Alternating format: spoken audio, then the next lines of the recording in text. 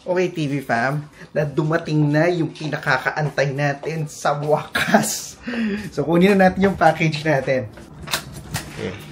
Woo!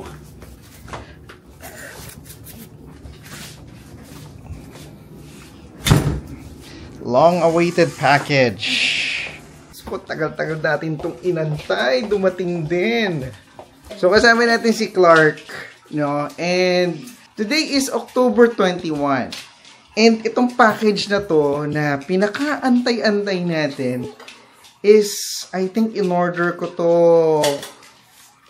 almost 2 months ago. So, ganun tayo katagal nag-antay. So, itong package na kasi na to, uh, gagamitin natin to sa pagpa-vlog natin, no? Para nang sa ganun, mas maging entertaining at uh, mas maging maganda yung uh, pagkukwento natin ng storya, no? Na excited na excited ako na makuha tong package na to. Hindi ko ma-describe ng maigi yung ating nararamdaman.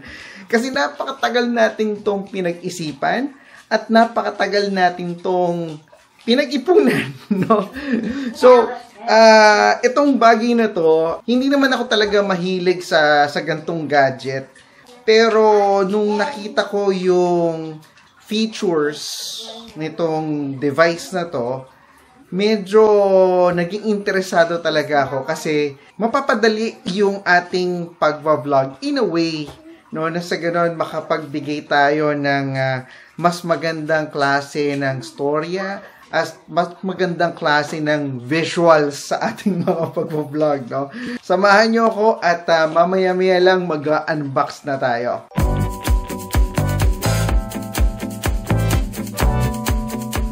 Hey TV fam, ngayon lang tayo naging excited ng ganito.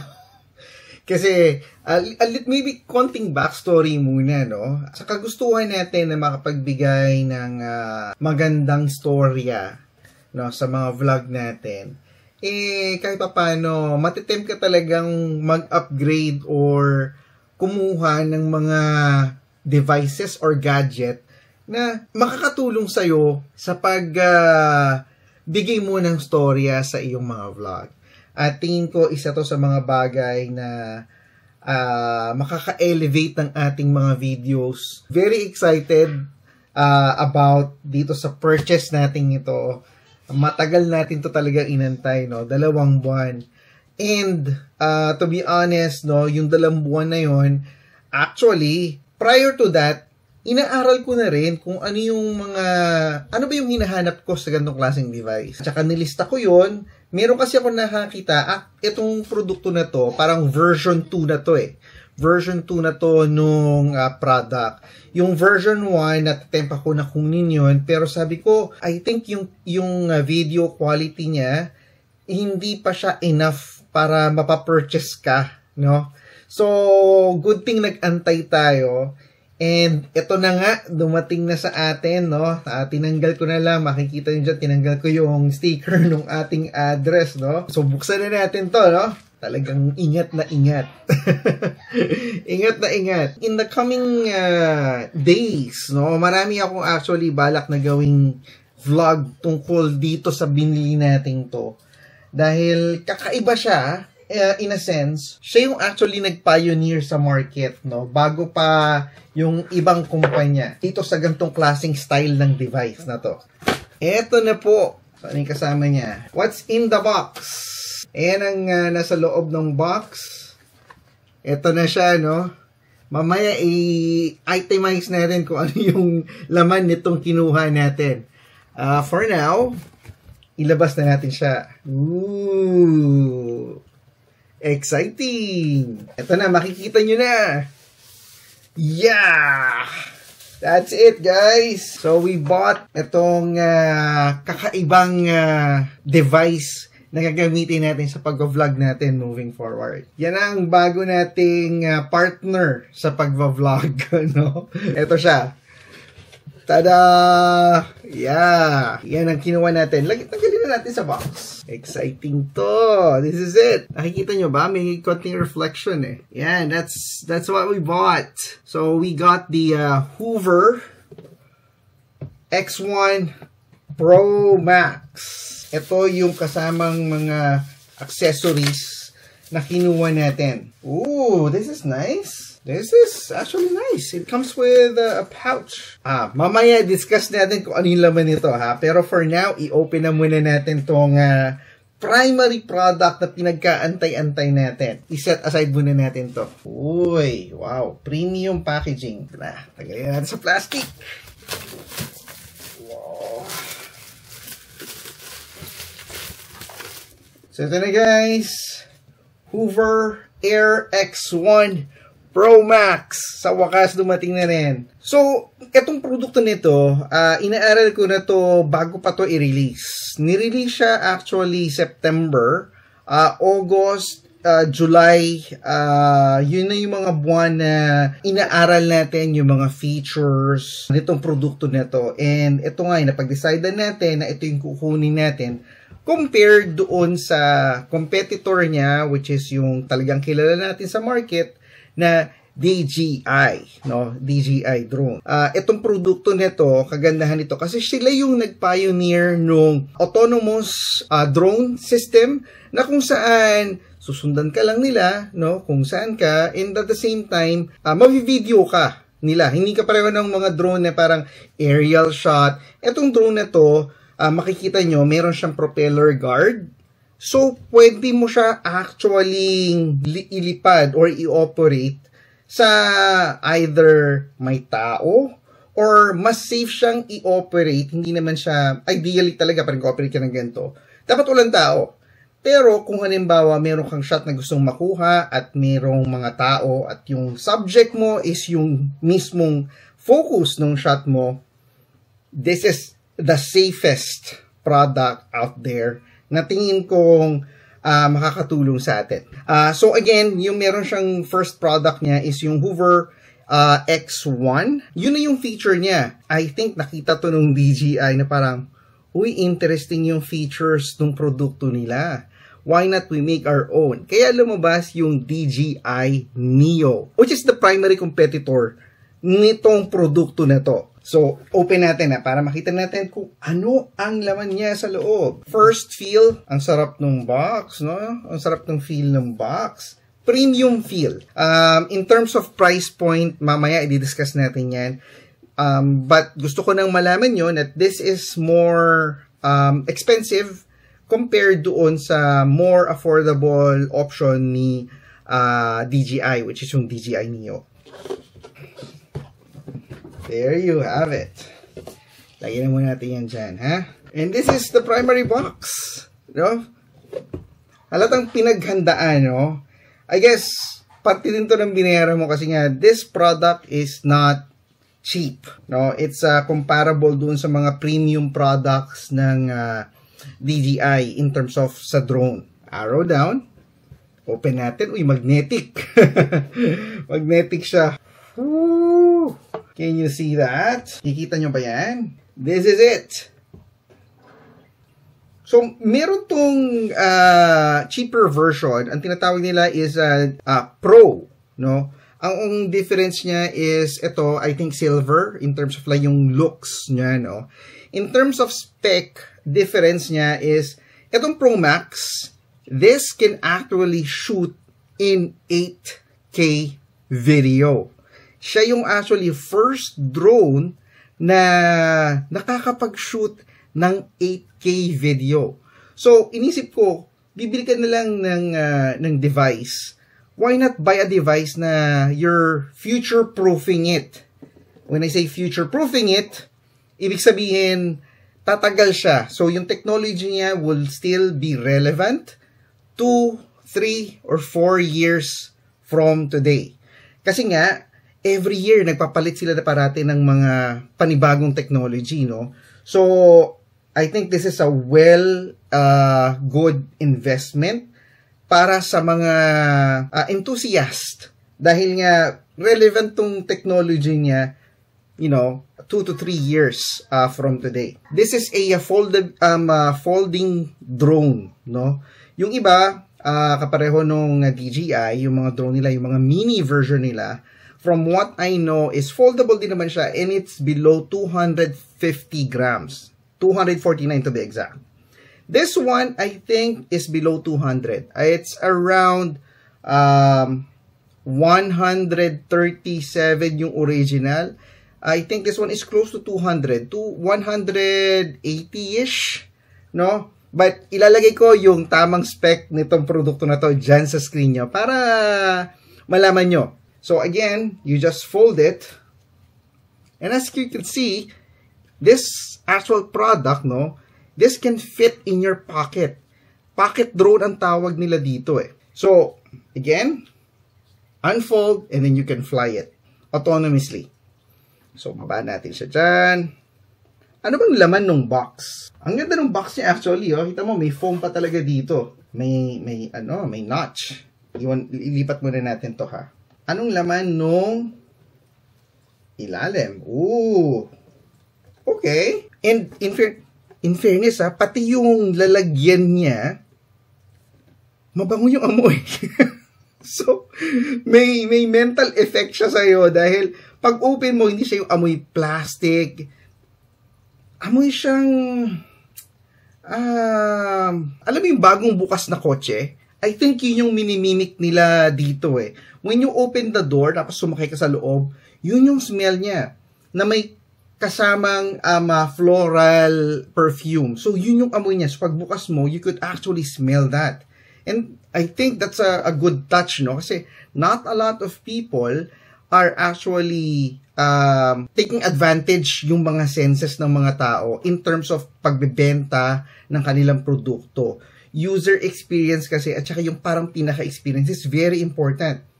And here you could actually smell it. I, I think dito ko naaamoy ito eh. Ah, ano bang nasa ilalim na to? Ooh, it's uh, what the sensor, uh, tama ba? Ah, no, no, it's this one. So, yun nga yun. This one, may sensor siya sa ilalim. So, I think let's put it that way para at least mas safe. So, yan lang yung laman niya sa box. And here, meron kang manual, no, in uh, downloading the app. So, yan yon Which gagawin natin uh, maya-maya. Ano pa yung kasama niya? What do we have here? Wow! This is a uh, the manual and the warranty service request card. So you have the manual here, and then what else is here? Oh, you have um a spare. Ah, so pinadalan kan papadalan kanila ng spare, not really a spare, but a part ng frame, and they're actually challenging you to tear it or break it. No, so talagang dito pinapakita nila sa iyo na itong produkto nila is uh, very durable. Makikita nyo, sample HEM frame, try to tear it or break it. Ayan o. Oh. Wow! So, ganun sila katiwala sa produkto nila. And I think nakita ko yan in some of the videos na napanood ko na sa YouTube. And then, it comes with a, um, a microfiber pouch para kung dadalhin mo yung actual na product. Uh, what else is inside? Comes with uh, the cable. Ito yung gagamitin mong cable for charging yung actual uh, drone device. Ano pa nasa loob? Meron pa ba? That's it. Ngayon tingnan natin yung card. So, ang kinuha kasi natin is uh, Hoover Air X1 Pro Pro Max Cycling Combo. So, meron siyang, may, may drone siya, may easy carry bag, the USB cable na pinakita ko kanina, the multifunctional carry bag, charging hub, uh, and then two smart batteries, um, 65 watt power adapter, beacon, handlebar mount, magnetic clip, magnetic adapter mount, and the filters at saka documentation. Ano ba yung kulang ko dito? Ay, yung power case. Yung power case, hindi kasama. Oh, I see. So, yung power case kasi na yun, pwede mong ilagay dun yung drone and then, while nasa loob siya ng mismong power case na yun, uh, magcha-charge na siya. So, yun yung wala ako. Yun yung difference niya doon sa isa pang mas premium na modelo which is yung uh, Hoover Air X1 Pro slash Pro Max skiing combo. Yun yung difference. But regardless, no, um, uh, kung kailangan mo mag-purchase noon, you can purchase siguro um, separate, pero I think it's expensive. uh, yung price nito nung nakuha ko siya, kasi ano yan eh, um, paunahan. Meron sila, I bought this from Indiegogo. Doon yung nilalaunch yung mga startup products and then they're being sold there at a discounted price. Uh, and good thing, no, nung kinuha natin tong produkto na to, um, the price that we got was, I think, 28% less than the retail price. So, nakatipid tayo doon uh, just by um, uh, purchasing through that platform. Bukas natin yung box. So, kaya siya tinatawag na cycling combo. Actually, itong bag na to, makikita nyo meron siyang ano sa gitna you can actually put it doon sa gitna ng uh, nung mismong parang bike nyo. And uh, ito din para magiging carry bag nyo para doon sa drone. Tingnan natin kung anong laman niya sa loob. We open this. You have the strap. You have the the clip. You have the uh, beacon. Ito yung importante importante. And you have the handle bar mount. So, yun yung laman ng one side. Actually, pwede ko rin pala itong i-zipper. Zipper na muna natin kasi hindi naman natin siya kailangan ng nakabukas eh. Pati yung feel nitong pouch niya, premium ah. Hindi siya cheap. Maganda yung pagkakagawa. Um, kung gusto mong malaman yung comparison, if you have a uh, DJI Osmo Pocket 3 uh, na combo na may kasamang carrying bag, it's the same. Same yung feel nung uh, parang pinaka-material. So, kung gusto mo siyang buong pack, you can just do it like this. And then, meron siyang parang uh, pinaka-sleeve na kung saan mo gustong isuksok. Tingnan natin yung laman nung kabila. So, yung kasama dun sa kabila, you have the, the power adapter, no? So, ito yung gagamitin natin pang charge. Uh, this is your charger. And then, lastly, you have the ND filters no, para doon sa mismong drone. At tatanungin nyo, saan ba ginagamit itong ND filters? Ito yung pag sobrang bright ng location and gusto mo medyo parang cinematic yung magiging uh, pag-capture ng video, you put this on. Para mong isipin na lang yung logic na you're, wear, you're putting sunglasses doon sa drone mo or doon sa camera ng uh, drone mo para mas maganda yung um, uh, picture na nakikita. And uh, that's that's it.